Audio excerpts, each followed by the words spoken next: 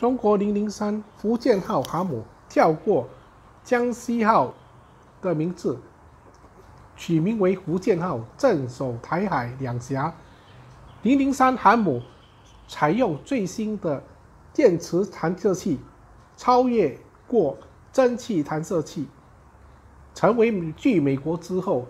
第二个国家能够在航母上用电磁弹射器发射战机的国家。零零三航母福建舰，而且配备了歼三十五隐身垂直战斗机。同时，零零三福建舰也配备了中国全新的空警六百，为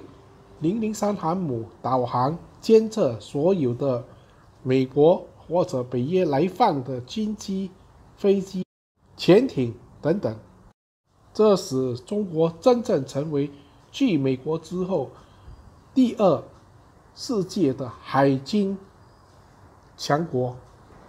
空警六百的作战原理为，它能提供中国航空母舰零零三附件舰为一个作战平台，在零零三的上空提供雷达指引，三百六十度的指引，哪一个方向，哪一个角度。有任何的潜在威胁，敌军的战机、战艇或者潜艇等无人机等潜在的军事威胁，而且歼三十五垂直隐形战斗机也是中国最新型的，复制了美国 F 三十五垂直隐身战斗机的功能，这使中国的航母的战力大大的提升为世界。第二的海权强国的实行的目标，而且中国歼三十五战机的制作已经采用了最新科技，用追丁打印模型复合材料为全机的三十八先，使战机更加轻型、更加的隐形，这能够超越美国 F 三十五的战机的水准。零零三航母原本上传为中国的端午节下水，不过因为种种原因推迟为六月十七号正式下水。中国零零三福建舰的下水创造了世界多种的世界第一的里程碑。零零三航母的下水已创造了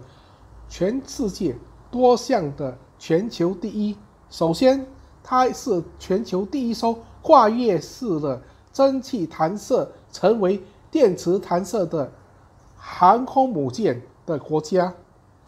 现在，法国的航母还在用高价从美国购买回来的老陈旧时代的蒸汽弹射器，可见中国的电磁弹射器能力已经超越了美国及法国。中国的电磁弹射器是采用了中压直流技术，比福特级的中压直流交液器更加先进。所以，从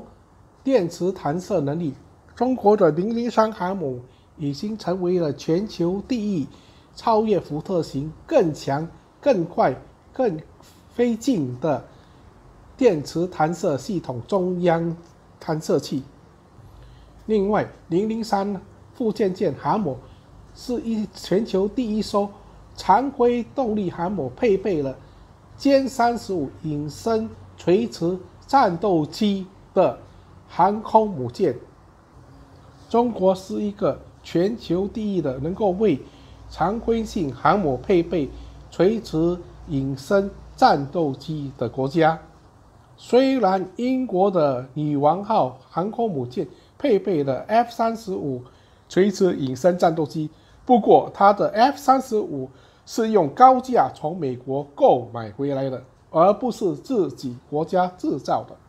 中国是一个全球第一能够快速打造隐身战斗机、电磁弹射器的航空母舰的国家，而美国的航空母舰打造过程是自。美国从世界第二次世界大战累计下来的五六十年的航空母舰的建造过程，而中国的飞速建造航空母舰是超越全球第一的，能够快速的打造航空母舰隐身垂直电磁弹射器的航空母舰建造能力，从短短的十年就完成了美国要用六十年完成的路程，而美国。从航空母舰的打造的六五六十年前的路程，已经用的军费开支简直是天文数字。而且中国从无到有，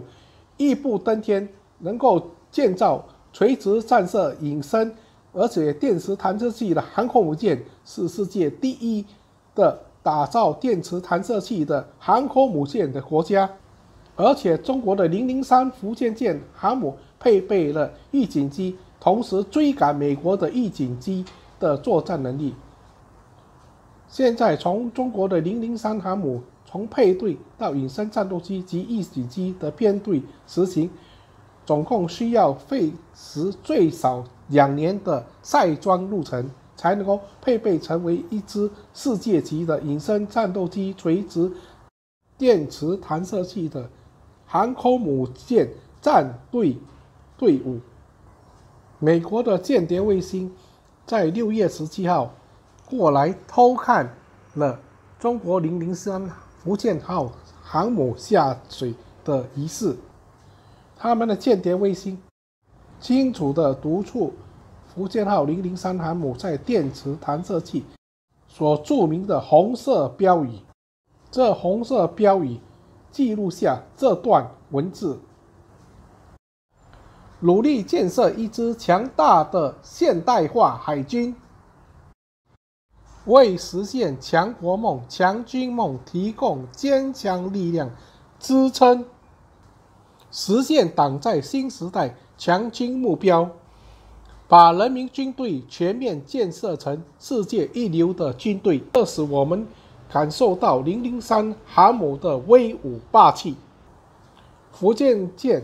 零零三航母甲板上有三个临时的工作棚，这是为用于电磁弹射器的工作棚，主要是用于防阻海水的腐蚀，以方便零零三航母在建设电磁弹射器的在海上所进行的赛装航程需要的过程的辅助设备。一旦电磁弹射器完整的建设于零零三航母，这个工作棚就像福特级航母当初建设电磁弹射器之后，就会一一拆除。我们拭目以待，中国零零三福建舰两年后的正式成军。谢谢大家的观赏，这集的零零三航母福建舰下水的新路程，再见。